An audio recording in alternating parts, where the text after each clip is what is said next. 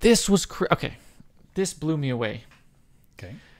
So the Franklin needs to get up to terminal velocity to turn on its thrusters, which that doesn't make much sense to me.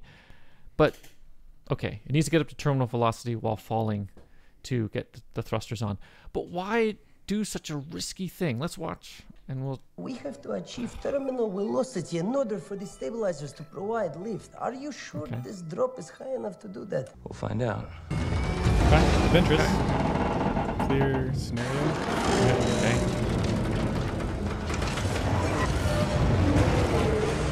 H- how is this a good idea? What are we doing? it's a terrible idea. Ah, What a hull breach. Need hull breach.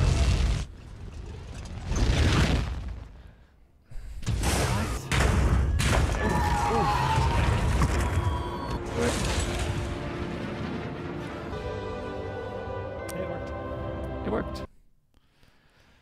So I don't think it makes sense because it if it was a wing, like a wing on an aircraft on a like a regular aircraft in today's world, you need a certain minimum speed to generate lift mm. to go into the atmosphere. Mm-hmm. But these are thrusters. We're not using the flow over the surface of the craft to generate lift. We just have thrusters that are blasting down. Why is it necessary for there to be terminal velocity? I mean, I guess okay, so I guess if the Franklin had an airfoil shape, like that that shape of the that tear not quite teardrop, that that shape of the of a wing, um, then you could generate lift, but it, it doesn't. It's a it's a spaceship made for space. and so it doesn't have that shape. And then and then worse here is right at the end. Yeah. Like if they did a smooth scoop out, I could get it, Yeah. but they don't. They flatten out here. Right. Like this this is this is coming straight down. It's not like flying scooping out. It's it's flying it's flying flat and then it it's, it's going to hit its belly, the bottom. Right. I don't know what part of the ship is called like that. But it's going to hit the bottom. And so now now you have your thrusters pushing down, which is going to counteract that that downward momentum. But you could have just done that At from the the, top. top. of the cliff Just turn them the on downward and then- momentum. and then lift up. Right. This this is the most challenging scenario you could have given them. Right.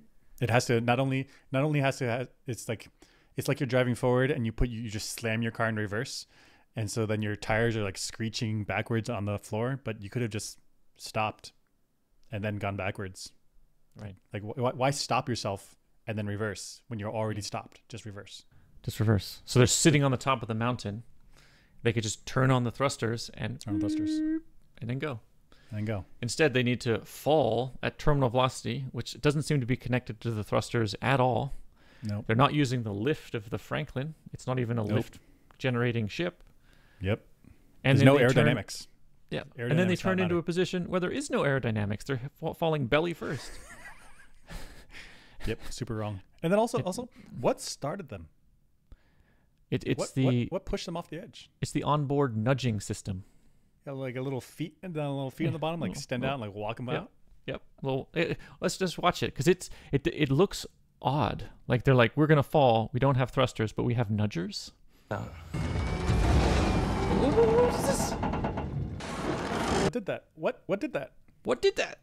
I don't. s- Are there feet? Are there little like thrusters that? I think it's Shoot. smooth on the bottom. I think they just had another machine somehow that was ready behind it to push it And A little little machine like a without machine without breaking it. what?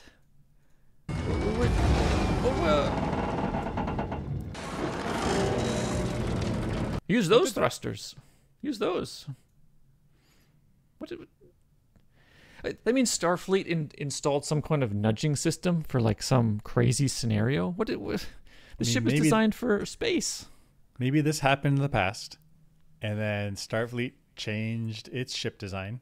They updated it, and so now ships can do this. I mean, I'm down for innovation. If they, they got a problem, they need to solve it. And they apply it for future ships. That makes sense. Okay. Okay. The rest of this don't make sense, but the nudges on the ship, that's canon to me. Look, it's it's just it's just going down like a It's rock. just going. gonna It's going. It's going to hit. It's Why would the thrusters need? out. Ah. and then they hit rocks. The rocks would f the ship up. I mean, either And- okay. So if it if the ship is super solid and it hits a rock, it should apply enough torque to spin that ship around. Yeah. Or the ship is not solid; it's made like a ship, and then you have hull breaches. For sure. Right. For sure. Rocks rocks don't have any give, and engineered items do. That's right. I think It's the hollow. ship It's hollow. breaks. Eh, it's hollow. The ship breaks has complicated machine parts and things, and the rock is just rock. It's not complicated. Weird. Weird scene. Weird scene. Unnecessary risky too. Just So lift risky. up. Just lift right up.